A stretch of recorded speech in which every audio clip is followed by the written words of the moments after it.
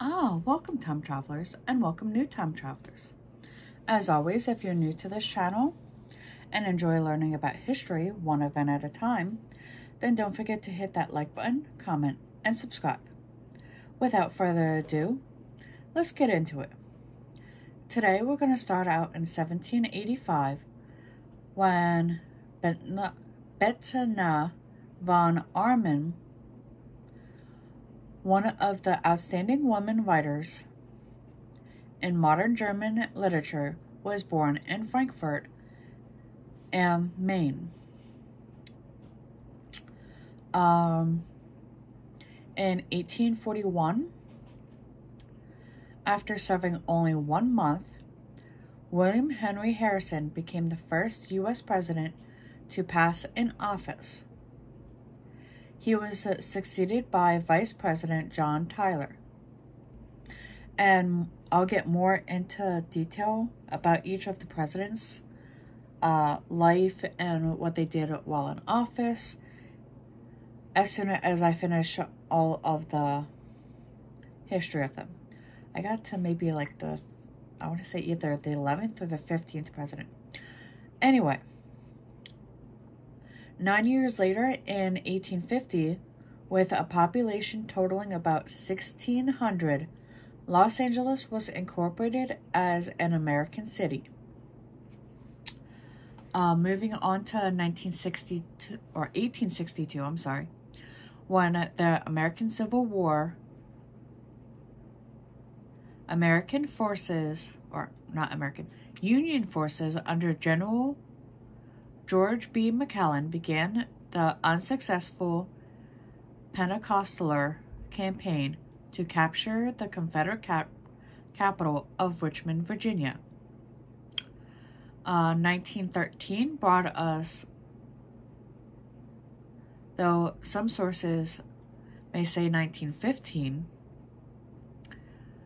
Muddy Waters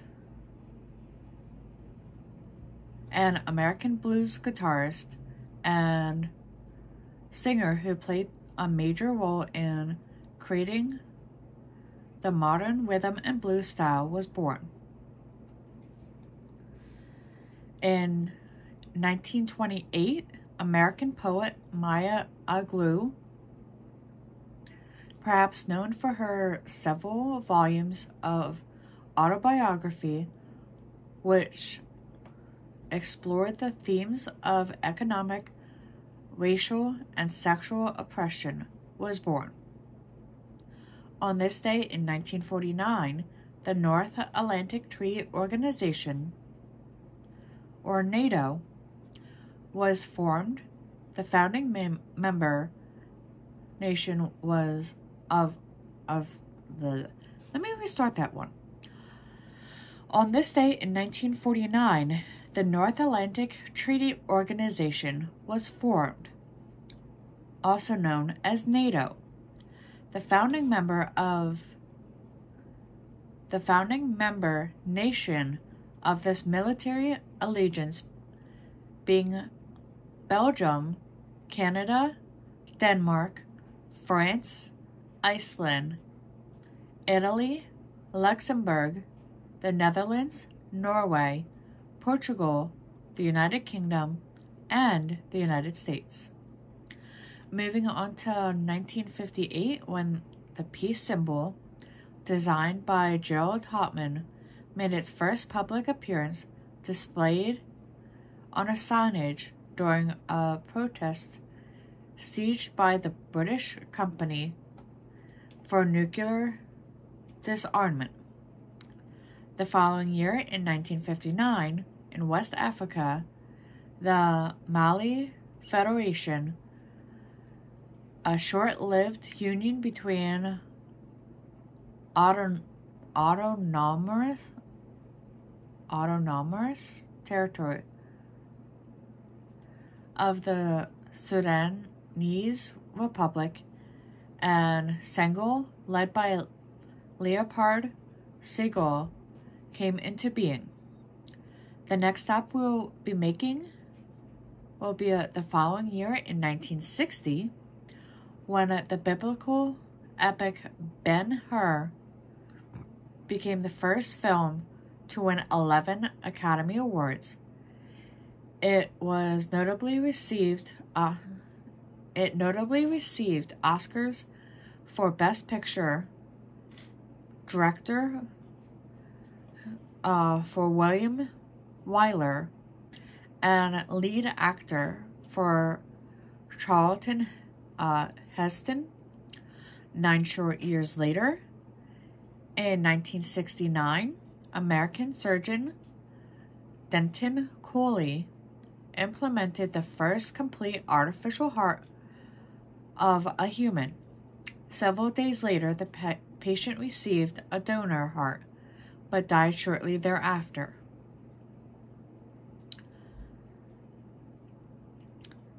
So, if you grew up like myself with computers and using Word documents and are familiar with the applications and were wondering when it was founded, then look uh, no further back than 1975 when Bill Gates and Paul Allen founded Microsoft, which became the world's largest personal computer software company. Um, 1998 is when American figure skater Michelle uh, Kwan wins her second World Figure Skating Championship in Minneapolis, Minnesota.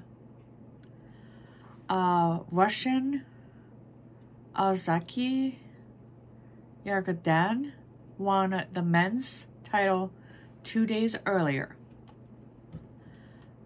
Um, let's move on to the beginning of this century with the year 2000 when the government of South Korea ordered some 85% of the country's livestock markets closed in an attempt to end an outbreak of foot and mouth disease that had struck Asian livestock.